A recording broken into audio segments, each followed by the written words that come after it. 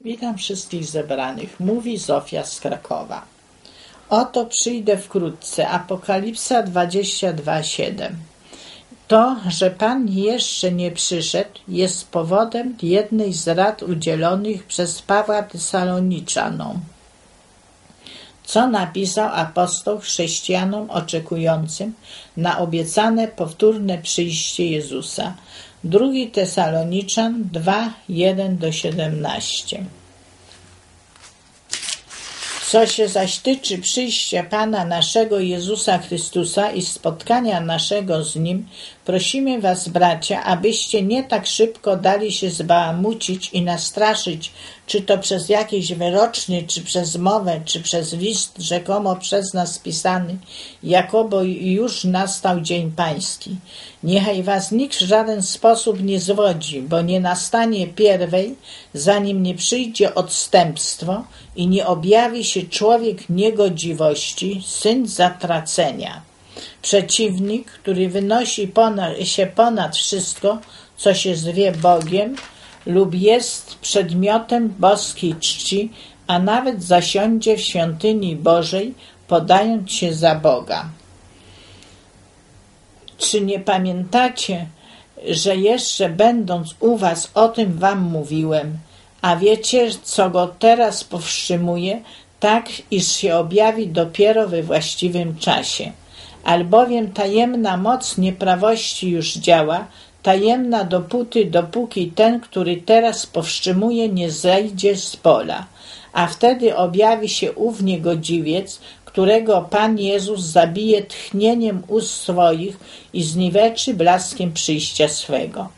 A ów niegodziwiec przyjdzie za sprawą szatana z wielką mocą wśród znaków i rzekomych cudów i wśród wszelkich podstępnych oszustw wobec tych, którzy mają zginąć, ponieważ nie przyjęli miłości prawdy, która mogła ich zbawić. I dlatego syła Bóg na nich ostry obłęd, tak iż wierzą kłamstwu, aby zostali osądzeni wszyscy, którzy nie uwierzyli prawdzie, lecz znaleźli upodobanie w nieprawości. My jednak powinniśmy dziękować Bogu zawsze za Was, bracia umiłowani przez Pana, że Bóg wybrał Was od początku ku zbawieniu przez Ducha, który uświęca i przez wiarę w prawdę. Do tego też powołał Was przez Ewangelię, którą głosimy, abyście dostąpili chwały Pana naszego Jezusa Chrystusa. Przeto, bracia, trwajcie niewzruszenie i trzymajcie się przekazanej nauki, której nauczyliście się, czy to przez mowę, czy przez list nasz. A sam Pan nasz Jezus Chrystus i Bóg i Ojciec nasz, który nas umiłował i dał pocieszenie wieczne i dobrą nadzieję z łaski. Niech pocieszy serca wasze i utwierdzi nas we wszelkim dobrym uczynku i w dobrym słowie. Apokalipsa Jana, która niejako podsumowuje całe Pismo Święte, także wskazuje na znaczny odstęp czasowy do powtórnego przyjścia Jezusa, co wykrzykują dusze pod ołtarzem po otwarciu piątej pieczęci. Apokalipsa 6, 9 do 11.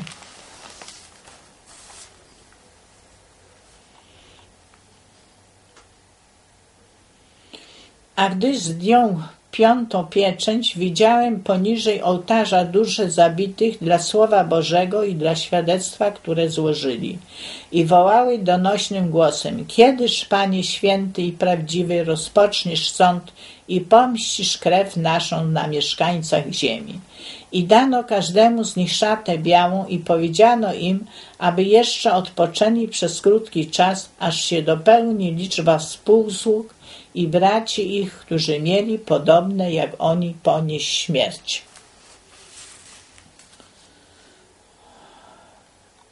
W jakim świetle ten fragment ukazuje kwestię zwlekania? Przeczytaj Łukasza 12:42 do 48.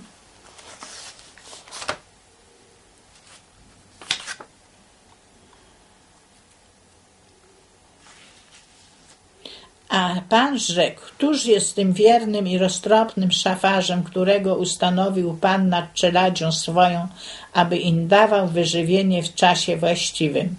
Błogosławiony ów sługa, którego Pan jego, gdy przyjdzie, zastanie tak czyniącego.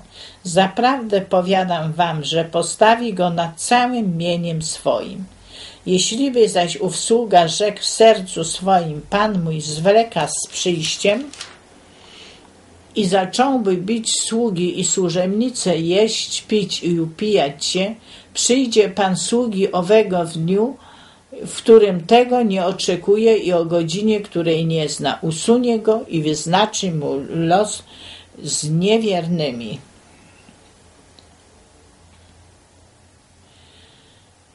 Ten zaś sługa, który znał wolę Pana swego, a nic nie przygotował i nie, nie postąpił według jego woli, odbierze wiele razów. Lecz ten, który nie znał, choć popełnił coś karygodnego, odbierze niewiele razów. Komu wiele dano, od tego wiele będzie się żądać, a komu wiele powierzono, od tego więcej będzie się wymagać. Jak wersety te pomagają nam zrozumieć kwestię zwlekania Jezusa? Jakie ostrzeżenie jest zawarte dla nas w tych słowach, byśmy nie zaczęli czuć i myśleć podobnie? Jak wyjaśnić wersety, które mówią, że Jezus przyjdzie wkrótce? Na przykład, oto przyjdę wkrótce, błogosławiony, który szczerze słów proroctwa tej księgi. Apokalipsa 22:7. W pewnym sensie w kategoriach naszego osobistego doświadczenia powtórne przyjście Chrystusa nastąpi równie rychło jak nasza śmierć.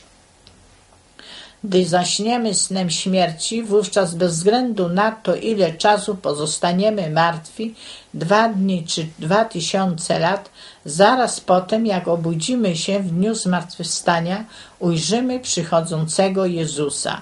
Cały ten czas będzie dla nas jak mgnienie oka. Tak więc można powiedzieć, że z osobistego punktu widzenia każdego człowieka powtórne przyjście Pana nastąpi nie później niż na końcu jego życia. Choć powtórne przyjście Chrystusa będzie rzeczywistym, powszechnie widzialnym i słyszalnym, kulminacyjnym wydarzeniem dziejów, to każdy z nas doświadczy go z osobistego punktu widzenia. Czy w miarę upływu lat przyzwyczajasz się do tego, co dzieje się na świecie? Czy pogodziłeś się z tym i coraz mniej myślisz o powtórnym przyjściu Zbawiciela? Jeśli tak, to prawdopodobnie nie, jest, nie jesteś jedynym, który tak myśli. Jak możemy odeprzeć tę naturalną i niebezpieczną skłonność? Przedstaw swoją odpowiedź podczas lekcji w klasie. Dziękuję.